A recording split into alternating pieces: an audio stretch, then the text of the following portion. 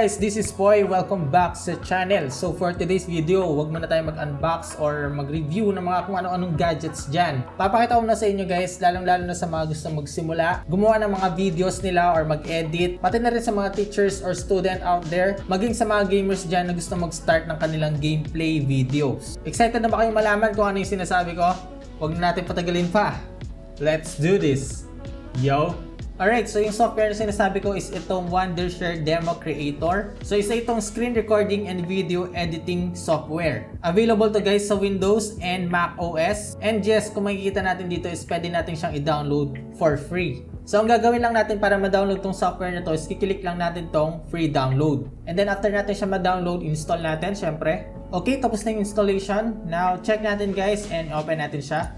Okay, so pagka-open na pagka-open natin itong Wondershare Demo Creator, ito yung unang bubungad sa atin na window. So meron tayong new recording and then video editor. Unahin ko na pakita sa inyo itong screen recording. So click natin yan. Okay, pagkabukas na pagkabukas natin ng uh, screen recording, ito agad yung bubungad sa atin. So meron tayong mga isang window dito and another window dito para sa camera. Pero as of now kasi hindi nakakonect yung camera natin sa PC kasi gamit natin ngayon pang shoot. Pero kung makikita natin guys, uh, sobrang dali lang siyang uh, i-set up. So makikita natin dito meron tayong uh, full screen. Ito yung ibig sabihin na buong screen ng monitor makukuha niya. And then meron tayo for custom size. Ito naman guys, pag meron lang tayong gustong kunin na part sa screen natin. Uh, the other one guys is the target window. Ito naman yung software na ginagamit natin. For example, gusto lang natin kunin yung uh, browser or kunwari gumagawa ka ng video tutorial about uh, Microsoft Office PowerPoint. Pwede rin yun guys, specific window yung kinukuha niya or kinakapture niya. Actually, itong mga icon na to, pwede to pang mute or pang unmute. Ayan para mas madali lang natin siyang ma-set up. Of course, nandito sa may left side, ito na yung ating record button. Makikita din natin yung duration dito. Tapos itong screen drawing tool, ito yun guys, itong nasa taas. Sobrang useful to para sa akin ha. Mamaya explain ko sa inyo, kunwari gumagawa tayo ng Photoshop tutorial. Pwede naman natin itong tanggalin kung di natin siya kailangan. Okay? And then, sa mga icon na to guys, ito yung uh, video editor. Tapos ito to minimize the panel. Ito mismong uh, window na to and yung settings, screen, audio, camera, and advanced. Sa screen recording guys, meron tayong dalawang options. So itong screen capture and itong game capture. So pipili lang tayo ng games dito kung gusto natin gumawa ng mga gameplay and pwede natin i-adjust yung frame rate. Now for the frame rate, ito yung nagustuhan ko kasi hanggang 120 FPS yung pwede natin ikabit which is good for gaming. And then para sa audio naman guys, ito yung uh, microphone natin. And then for the camera guys, gaya ng sinabi ko kanina, OBS camera yung gamit ko. And then for the advanced naman, makikita natin guys yung save directory and then yung encode natin and shortcut. And that's it. Try na natin guys mag uh, record. Alright, so as of now, ang gamit ko ng screen recorder is yung Demo Creator from Wondershare. So ito yung itsura niya guys. So kunwari gagawa lang tayo ng Photoshop tutorial no para ma-explain ko sa inyo yung mga tools na pwede natin gamitin dito. Alright, so right now, nandito tayo sa Photoshop ngayon and uh, tuturo ko lang sa inyo guys yung basic editing no, pagdating sa mga thumbnail. So kapag nag-tutorial tayo, okay din na sa mismong screen recording, doon na natin siya tinuturo. For example, uh, kiklik natin itong arrow. Ayan, and then pwede natin palitan ng kulay. So for example, itong puti. So ang tawag dito guys, sa tool na to,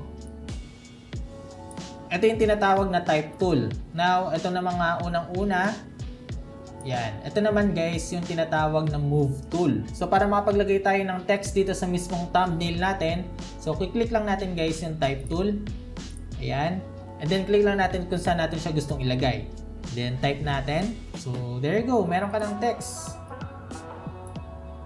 So using the Wondershare Demo Creator, sobrang daling gumawa ng video tutorial tulad nito. As in, mamaximize talaga natin yung mga tools na nandito. Hindi mo na kailangang i-edit after ng tutorial. Alright, for example, tapos na natin yung video tutorial na ginagawa natin. Pwede na natin i-stop yung recording. Ang maganda dito is automatically mag-open yung video editor nito.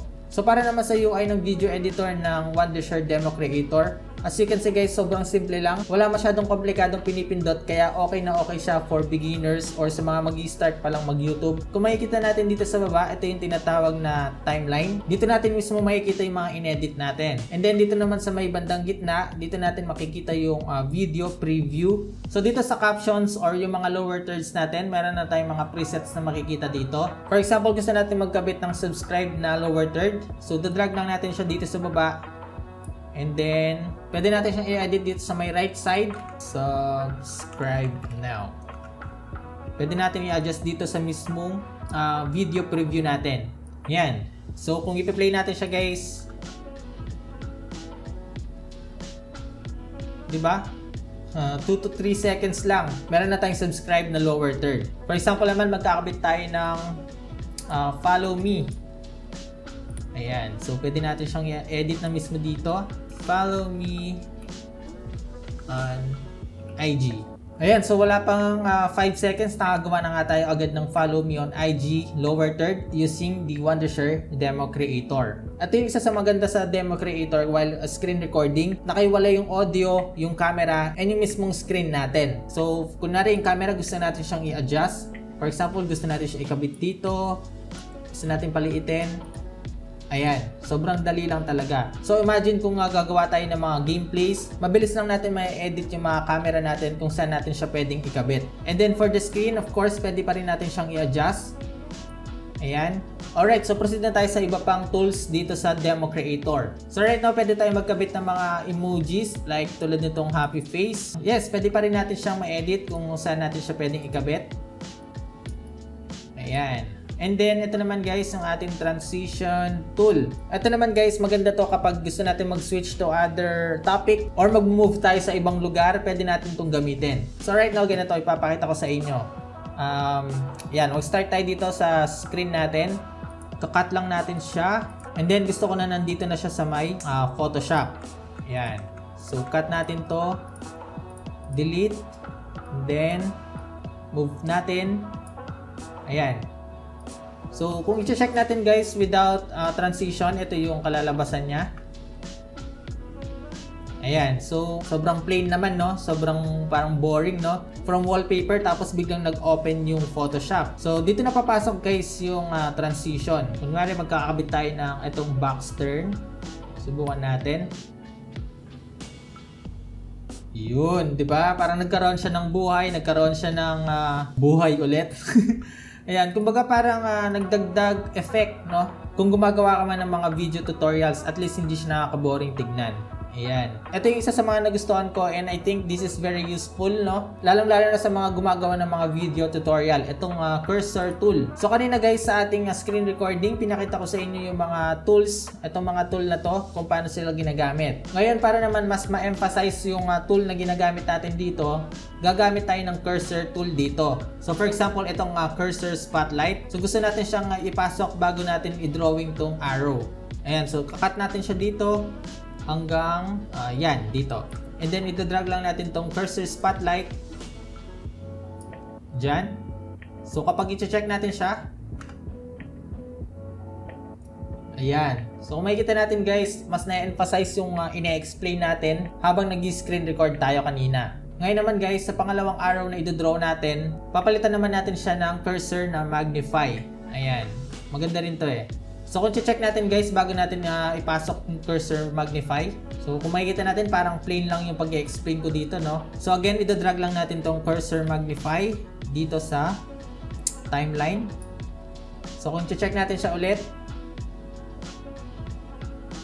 Ayan no. So para mas may explain natin siya ng maayos. Oh, di ba? Ngayon para naman ma-export, nandito siya sa may upper right. And then meron tayong uh, format dito kung gusto natin ng uh, MP4, WMV, AVI, MOV, GIF, and MP3. So production name, of course, yung name natin, Photoshop Tutorial. Tapos export. Alright, so nakasave na guys. Ito siya. Photoshop Tutorial.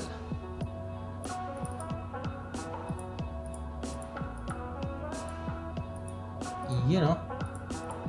O diba, sobrang useful nitong uh, Wondershare Demo Creator lalong-lalo na sa mga mag-start pa lang talaga. And for me, magagamit ko siya sa mga future tutorial videos na gagawin ko dito sa channel para mas lalo nyo maintindihan yung mga in-explain ko at yung mga pinapakita ko sa screen. Okay, so para naman sa mga nakaabot dito, don't worry kasi meron silang ino-offer na 14 days free license. Ngayon, para naman makuha natin yung free trial, just click the first link in the description box tapos mapupunta siya sa mismong official website nila. And then makikita natin dito na meron siyang free trial and buy now. Ito yung nagustuhan ko kasi sobrang mura lang ng binibigay nilang plan. Para sa monthly plan, nasa around $8 lang. Na dati namang $10. So kung i-convert natin yung $8 guys, nasa 400 pesos lang monthly. So hindi naman siya ganun kabigat, kaya okay siya para sa akin. Ang kaiba naman guys ng free software sa paid software is ito. So wala siyang watermark, then free updates, free technical support, and then all recording and video editing features or lahat ng pinakita kong tools sa inyo kanina is kasama siya dito sa monthly plan. And that's it guys. Sana nakatulong itong video na to kung sakaling naghahanap ka ng mga video editing software. So kung gusto mong i-check itong Wondershare Demo Creator, again click the first link in the description box para makakuha ka ng 14 days free license at masubukan mo itong Wondershare Demo Creator. At kung gusto mo pa ng ganitong klaseng chill video tutorials, pinapaya ko na sa iyo kaibigan, mag-subscribe sa channel na to Huwag mo na rin kalimutan mag-like, share, comment at yung notification bell para updated ka pag meron tayong bagong upload. Again, this is Poy, unboxing anything just for you. Hanggang sa muli nating pagkikita. Nice!